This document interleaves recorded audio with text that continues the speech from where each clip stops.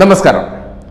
തദ്ദേശ തെരഞ്ഞെടുപ്പിന്റെ അധ്യക്ഷന്മാരുടെയും ഉപാധ്യക്ഷന്മാരുടെയും തെരഞ്ഞെടുപ്പുകൾ പുരോഗമിക്കുകയാണ്. ഏകദേശം അന്തിമഘട്ടത്തിലാണ് പക്ഷേ ഈ സന്ദർഭത്തിൽ രാഷ്ട്രീയ നിലപാടുകൾക്ക് ഊന്നൽ കൊടുത്ത എൽ ഡി എഫിനെ അഭിനന്ദിക്കേണ്ടിയിരിക്കുന്നു.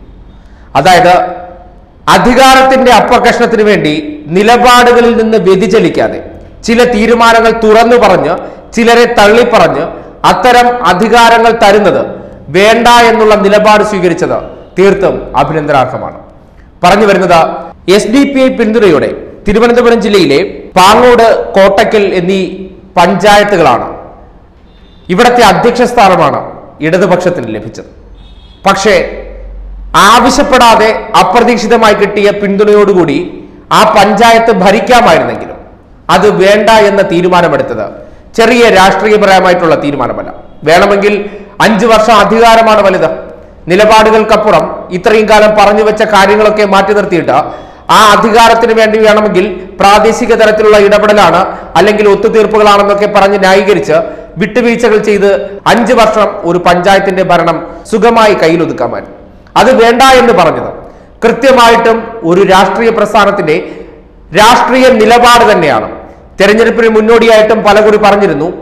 കേരളത്തിലെ വർഗീയ സംഘടനകളായ എസ് ഡി പിയുടെയോ അല്ലെങ്കിൽ ജമാഅത്ത് ഇസ്ലാമിയുടെയോ വെൽഫെയർ പാർട്ടിയുടെയോ ഉൾപ്പെടെയുള്ള വോട്ടുകൾ ഇടതുപക്ഷത്തിന് വേണ്ട എന്ന് ആർജവത്തോടു കൂടി അവർ പറഞ്ഞാണ് വോട്ട് നേടിയത്. എന്നാൽ നേരെ മറിച്ച് വെൽഫെയർ പാർട്ടിയുമായി ബന്ധമില്ല അല്ലെങ്കിൽ പരസ്യ നിലപാടില്ല എന്ന് പറഞ്ഞ മുക്കം പഞ്ചായത്തിൽ ഉൾപ്പെടെ വലിയ തരത്തിലുള്ള ആക്ഷേപമുണ്ടായ പ്രദേശങ്ങളാണ്.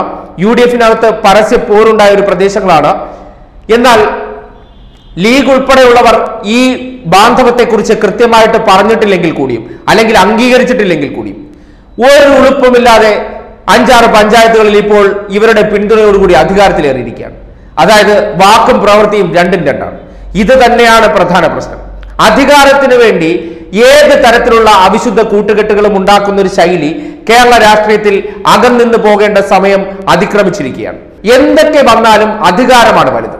അവിടെ രാഷ്ട്രീയ നിലപാടുകളോ അല്ലെങ്കിൽ വർഗീയതയോ അല്ലെങ്കിൽ സമൂഹത്തിന് ഉതകാത്ത രീതിയിലുള്ള ഇടപെടൽ നടത്തുന്ന ആരെ കിട്ടിയാലും മതി. ഞങ്ങൾക്കൊരു പഞ്ചായത്ത് എങ്ങനെയെങ്കിലും ഭരിക്കാൻ കിട്ടിയാൽ മതി എന്നുള്ള നിലപാടുകൾ വേണമോ വേണ്ടയോ എന്ന് ജനം ചിന്തിക്കണം. ഇതാണോ രാഷ്ട്രീയ നിലപാട്. രാഷ്ട്രീയ നിലപാട് വിശദീകരിക്കുകയാണെങ്കിൽ അത് ഒരേ ഒരു തവണ മാത്രം. ഇതാണ് ഞങ്ങളുടെ നിലപാട്. അത് കാറ്റത്തും വെള്ളത്തും ആടി ഉലയരുത്. അത് ഉറച്ചു നിൽക്കണം. അതിന് തീരുമാനമെടുക്കണമെങ്കിൽ നട്ടൽ തന്നെ വേണം. അല്ലാതെ നട്ടലിന് പകരം വാഴപ്പിണ്ടിയാണെങ്കിൽ ഇതുപോലെ ഇങ്ങനെ ആടി ഉഴഞ്ഞുകൊണ്ടിരിക്കും കോൺഗ്രസിന് സംഭവിച്ചുകൊണ്ടിരിക്കുന്ന ഏറ്റവും വലിയ തിരിച്ചടി ഇതാണ്. അവസരവാദപരമാണ് പല നിലപാടുകളും. അതുകൊണ്ടാണല്ലോ ലീഗും കോൺഗ്രസും ചേർന്ന പല പഞ്ചായത്തുകളിലും ഇത്തരത്തിലുള്ള ഒരു രണ്ടാം കിട പ്രവർത്തനങ്ങൾ നടത്തിയിരിക്കുന്നത്. നിങ്ങൾ വെൽഫെയർ പാർട്ടിയുമായി ബന്ധമുണ്ടോ? കോൺഗ്രസിന്റെ ദേശീയ നേതൃത്വം പറയുന്നു വർഗീയ സംഘടനകളുമായി യാതൊരു തരത്തിലുള്ള ബന്ധവും വേണ്ട നിങ്ങൾ എന്താണ് ചെയ്യുന്നത്? അപ്പോ നിങ്ങളെ വിശ്വസിക്കേണ്ട കാര്യമുണ്ടോ എന്ന് പൊതുജനം ചോദിച്ചാൽ എന്ത് മറുപടി പറയണം? വെറുതെ ഇളിച്ചു കാട്ടിയാൽ മതി. അത് പിന്നെ ഇങ്ങനെയാണ്. അല്ലെങ്കിൽ അങ്ങനെയാണ്. ഇതേ ബന്ധം ഇപ്പോൾ രാജിവെച്ചിട്ടില്ല. ഇടതുപക്ഷം എവിടെയെങ്കിലും ഇതേ ബന്ധം സ്വീകരിച്ച നിങ്ങൾ ഈ വിശദീകരിക്കുന്ന അതേ നിലപാട് പറഞ്ഞാൽ ഏത് തരത്തിലായിരിക്കും നിങ്ങളുടെ രാഷ്ട്രീയ പ്രചരണങ്ങൾ? അപ്പോ എ കെ ആന്റണി പറഞ്ഞൊരു വാചകമുണ്ട്. പകൽ കോൺഗ്രസും രാത്രിയായാൽ ഏതാണ് നിറമെന്ന് മാത്രം അറിഞ്ഞാൽ മതി. കാക്കിയാണോ പച്ചയാണോ ചുവപ്പാണോ കോൺഗ്രസ് നേതാക്കൾ ഏതെന്ന് അറിയാൻ ഇപ്പോഴും കൃത്യമായിട്ട് ഒരു വഴിയുമില്ല. വല്ല മെഷീനോ കണ്ടുപിടിക്കേണ്ട ഗതികേടാണ്. എന്താണ് കോൺഗ്രസിന്റെ രാഷ്ട്രീയ നിലപാടെന്ന് കൃത്യമായിട്ട് അറിയാനായിട്ട്. ഇപ്പോൾ എന്തായാലും ഒരു കാര്യം കൂടി സംഭവിച്ചിട്ടുണ്ട്. എസ് ഡി പി എന്ന സംഘടനയെ നഖശികാന്തം വിമർശിച്ചുകൊണ്ടിരുന്ന ബി ജെ പിയും തിരുവനന്തപുരം ജില്ലയിലെ ഒരു പഞ്ചായത്തിൽ എസ് ഡി പി ഐയുടെ പിന്തുണയോടുകൂടി അധികാരത്തിലേറിയിട്ടുണ്ട്. തിരുവനന്തപുരം ജില്ലയിലെ കരവാരം പഞ്ചായത്തിലാണ് ഇത്തരത്തിലൊരു അവിശുദ്ധ ബന്ധത്തിലൂടെ ബി ജെ പി അധികാരത്തിൽ വന്നിട്ടുണ്ട്. തിരുവനന്തപുരം നഗരസഭാ തെരഞ്ഞെടുപ്പുമായി ബന്ധപ്പെട്ട് ബി ജെ പി ജില്ലാ പ്രസിഡന്റായ വി വി രാജേഷ് പറഞ്ഞൊരു വാചകമുണ്ട്. അതായത് ബി ജെ പിയെ തോൽപ്പിക്കാനായി ഇവിടെ വർഗീയ സംഘടനകൾ വർഗീയ ഭീകരവാദ സംഘടനകളുമായി ചേർന്ന് ഇടതുപക്ഷം ഒത്തുകളിക്കുകയാണ്. ആ ബി ജെ പി ആണ് ഒരു പഞ്ചായത്തിലെ അധികാരം ഈ പറഞ്ഞ വർഗീയ പാർട്ടികളുമായിട്ട് ചേർന്ന് ഭരിക്കാൻ അവസരം കിട്ടിയപ്പോൾ ഒരു ഉളുപ്പുമില്ലാതെ അത് സ്വീകരിച്ച് അധികാരത്തിലേറിയിട്ടുണ്ട്. സാരമുണ്ടെന്നല്ല. പക്ഷേ വാക്കുകൾ പറയുമ്പോൾ എപ്പോഴും അതിനൊരു അഗ്നിശുദ്ധി വരുത്താൻ ശ്രമിക്കണം. അല്ലാതെ എല്ലില്ലാത്ത നാവാണെന്ന് കരുതി ജനങ്ങളുടെ മുഖത്ത് നോക്കി എന്ത് പോഴത്തരവും വിളിച്ചു പറയുക ആ സന്ദർഭം അങ്ങോട്ട് കഴിഞ്ഞു പോകുമ്പോൾ നിങ്ങളുടേതായ രീതിയിൽ പോകുന്ന ഒരു രീതി എന്ന് പറയുന്നത് ഇന്നത്തെ കാലഘട്ടത്തിൽ കൃത്യമായി ചോദ്യം ചെയ്യപ്പെടും അതിനെ വിമർശിക്കും. ഇതോടൊപ്പം തന്നെ ബി കാണിച്ച മറ്റൊരു കടന്ന കൈയും കൂടിയുണ്ട്. അതായത് റാന്നി പഞ്ചായത്തിൽ ഇടതുപക്ഷ സ്ഥാനാർത്ഥിക്ക് വോട്ട് ചെയ്ത് വിജയിപ്പിച്ച അധികാരത്തിലേറ്റി. ഒന്ന് ആലോചിച്ചു നോക്കണേ. റാന്നി പഞ്ചായത്തിൽ രണ്ട് ബി ജെ പി നേതാക്കളും ഒരു സ്വതന്ത്രനുമാണ് ജയിച്ചത്.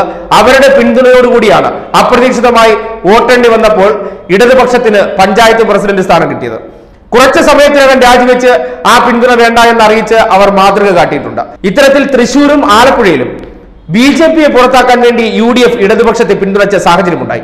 തൃശൂർ ജില്ലയിലെ ആമണിശ്ശേരിയിലും ആലപ്പുഴ ജില്ലയിലെ തിരുവൻപണ്ടൂരിലുമാണ് ഈ സംഭവം ഉണ്ടായത് ഈ രണ്ടിടങ്ങളിലും ബി ഏറ്റവും വലിയ ഒറ്റക്കക്ഷിയാണ് പ്രത്യേകിച്ച് ആലപ്പുഴയിലെ തിരുവൻപണ്ടൂർ എന്ന് പറയുന്നത് പ്രതിപക്ഷ നേതാവ് രമേശ് ചെന്നിത്തലയുടെ സ്വന്തം പഞ്ചായത്താണ്.